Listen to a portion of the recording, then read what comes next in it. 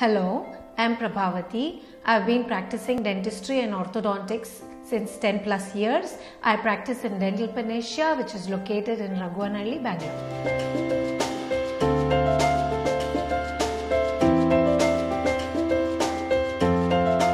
Crossbite may be due to the variation in the jaw musculature, the jaw size, shape, and position, or crossbite may be because of the teeth alignment. So, whatever reason may be there for crossbite, if it is corrected as early as possible, it is better. Now, if crossbite is due to skeletal abnormality, that is the jaw abnormalities, that needs a correction at quite an early age of 7 to 8 years.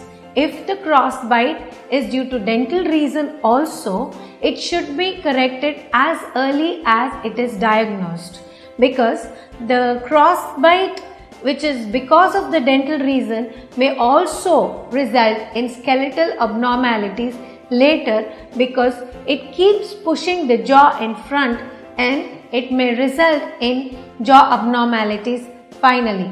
So crossbite if it is it can be corrected as early as possible like 7 to 8 years it is advised.